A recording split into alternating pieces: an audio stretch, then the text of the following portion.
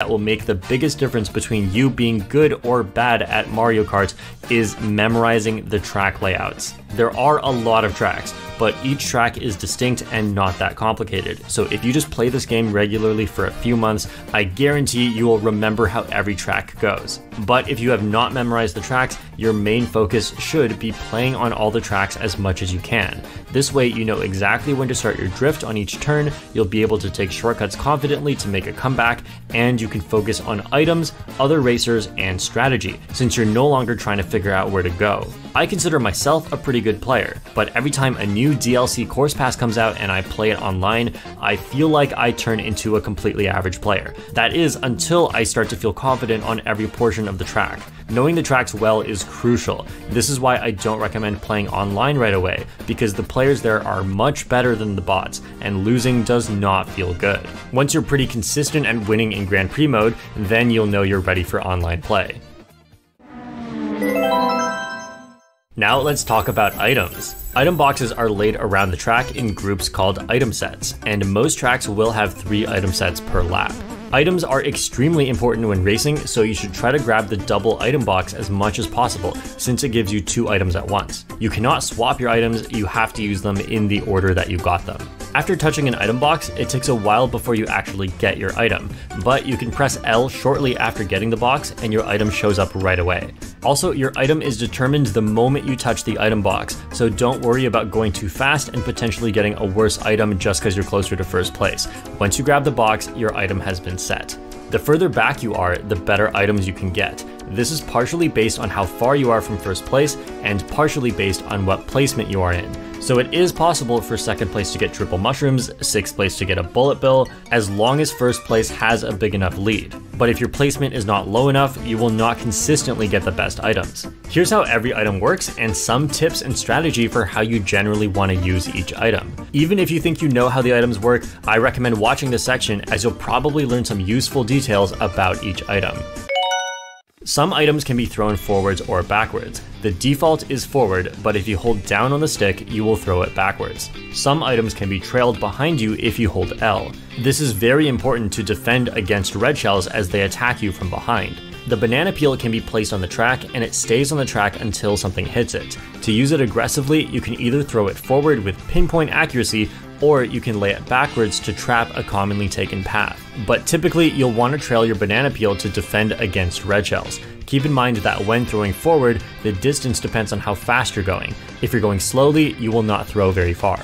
The green shell can be thrown in a straight line and it can bounce off of walls, so it's most effective in a confined space. Just make sure you don't hit yourself with it because that is all too common, at least for me. You can go for 6 snipes, but typically you'll want to use the green shell to protect against red shells. The red shell is so annoying. When you throw it forward, it targets the next racer. Usually you'll defend against red shells by trailing an item, but it can break if you quickly swerve around something as it is about to hit you. You can also throw the red shell backwards, but then it just moves in a straight line and breaks as soon as it hits something. You can also use a red shell to protect against other red shells. The Bob-omb, or bomb, makes a giant explosion when it is hit or after a few seconds of being out. Sometimes it can walk around before exploding, so pay attention to that when going around the bomb. Throwing the bomb forward can be risky because you could run into it yourself, so you'll usually want to throw it backwards. The best time to do this is on a narrow path, as nobody will be able to dodge it. Sometimes even on a wide path, no one will be able to dodge it. Thanks, Nintendo. Keep in mind that when throwing forward, the distance depends on how fast you're going. If you're going slowly, it will not fly very far and you may bomb yourself. You can trail the bomb to dodge a red shell, but this can be risky. On 150cc, you need to be going at top speed or you will hit yourself with the bomb. So the safer option is to use your rear view camera and drop the bomb at the last second. But on 200cc, you can safely trail the bomb. The super horn, also known as the music box, attacks the space around you, hitting all racers and deleting all items on the track for a few seconds. This does not include items held by other racers, but does include trail items and revolving items. The best use for the super horn is to break a blue shell. There's a very small chance of getting this in first place, so a common strategy is to keep cycling for new items in first until you get the super horn. And then a red shell shows up and you can't use this on the blue shell anyway. The blue shell not only targets first place and delivers a bomb explosion, it drives down the track and hits anyone in its way. And this thing is huge. It's this big in your hand and this big on the track. Did you know that? And sometimes it takes a shortcut. Someone at Nintendo really thought this made sense. Your general strategy for avoiding a blue shell if you're not in first is to get out of the middle of the road. If you notice the blue shell on the minimap and you don't have an item to avoid the blue shell in first, you can actually back out of first and let someone else get hit. The blue shell does not lock onto a target until it is very close by, but you have to notice the blue shell early. If you notice too late, you may have just slowed down for no reason. And if someone else has finished the race already, the blue shell will target the next highest placement even if that placement is 11th place.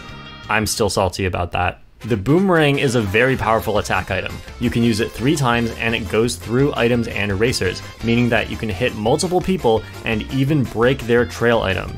To defend against red shells, you'll want to look backwards and time the throw. Each time you use the Boomerang, it leaves your item slot and then returns in the next available slot. If you have two items before the Boomerang returns, you will lose the Boomerang unless you can get rid of an item before the Boomerang returns. And this is extremely rare, but since the shock only deletes items in your your item slot, you can actually get your boomerang back after being hit by the shock. The Fire Flower can be used 10 times, and it has a time limit that begins when you use your first throw.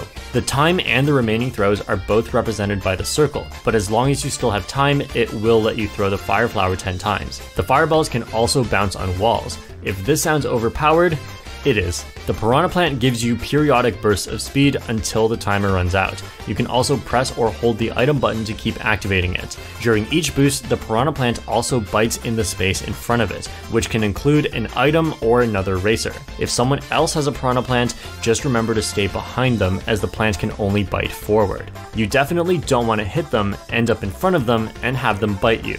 I can't imagine being that stupid. The best item in the game is the Lightning, or as more serious players call it, the Shock. The shock hits every racer except the user, making them spin out and turn small. When small, you drive much slower and you can get squished by a regular sized racer, making you even slower. Each racer stays small for a different amount of time depending on their placement. First place stays small for the longest. If you get shocked in a glider, you will still go through the spin out animation and turn small, but you will not lose a bunch of speed like you would if you were on the ground. There are two ways to dodge the shock. Either have an invincibility item active, or be in the respawn animation after falling off. But unless you have a teammate communicating this to you, there's no way you can use falling off as a reliable shock dodge method. And if you are in the invincibility phase after getting hit, you will dodge the initial impact of the shock, but you will still turn small. As the person using the shock, there is a lot of strategy that goes into this, but the basic idea is you want to look at the minimap to see who's in a star or a bullet. If someone is in a boo, you cannot see them on the minimap, so don't worry about that. You want to use the shock at a time when fewer people are in a star or bullet so that they don't dodge it. The speed items all rely on your speed stat. I mentioned earlier how the mini turbo stat is a more important stat than speed when trying to go fast, but that's only for when you're not using items. With speed items, the speed that they give always depends on your speed stat and how many coins you have, and this includes the bullet bill. The mushroom gives you a short burst of speed, but the speed boost you get is actually quite weak and can rarely help you make a significant comeback. The best use of a mushroom is to take shortcuts. Off-road sections of the track make you drive slow unless you're using a speed item. Some shortcuts require one mushroom, some need two, and some don't need a mushroom at all. This is where track knowledge is important as using mushrooms can either be next to useless or take you from last place to first place depending on how you use it. You also want to save your mushroom if you have no other item, even if you won't take a shortcut. This is because if you get hit, you can use your mushroom to instantly get back to full speed. The golden mushroom is just a mushroom that you can use for as much as you want for 7.5 seconds after the first use. This can be used to take multiple shortcuts and make a huge comeback.